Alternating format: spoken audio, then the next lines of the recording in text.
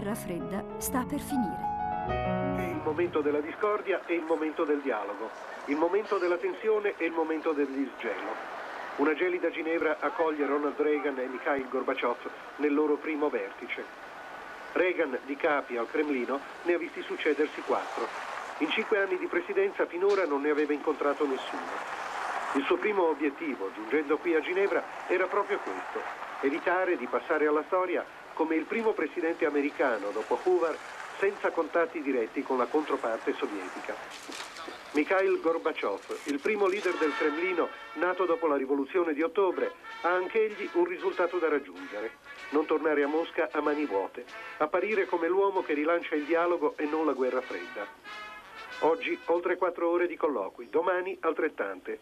Giovedì forse una coda per una possibile dichiarazione comune o un'ugualmente possibile firma di documenti. Metà del tempo Reagan e Gorbaciov lo hanno trascorso a tu per tu, facendo anche una breve passeggiata in riva al lago e una chiacchierata accanto al caminetto, alla sola presenza degli interpreti, in un'atmosfera che le due parti definiscono buona. Più di 3.000 giornalisti, giunti da ogni punto della terra, affollano tre grandi sale stampa.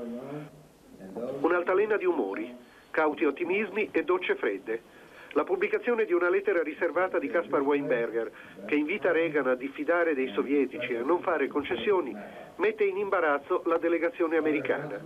Ma il ministro della difesa, assicura Reagan, resterà al suo posto. Per gli americani sarà un successo se i due leader si lasceranno con la promessa di rivedersi. Non ci ameremo di più ma ci capiremo meglio, aveva detto Reagan qualche mese fa. E Gorbaciov, al suo arrivo a Ginevra, i popoli del mondo attendono risultati positivi da questo incontro. Tranquilla, amabile, disincantata, Ginevra ha da sempre il ruolo di attutire le tensioni mondiali ed oggi fa da discreta ospite ai due grandi da cui dipendono la pace e la guerra. L'umanità, ha detto John Kennedy, deve porre fine alla guerra o la guerra porrà fine all'umanità.